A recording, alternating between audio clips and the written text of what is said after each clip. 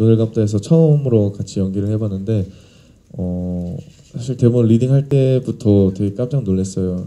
되게 어, 똑 부러지고 그리고 현장에서도 늘 에너지가 넘치는 친구라서 어, 되게 도움을 많이 받았어요. 네. 그리고 늘 웃고 있거든요. 네. 뭐 이렇게 작품이 어두운 부분도 있지만 이제 뭐 커트 하면은 항상 웃고 있고 저랑 이렇게 이야기도 많이 나눠주고 해서 어, 현장에서 가장 큰 힘이 된 친구가 네, 네. 인아였던 것 같아요. 그렇군요. 예.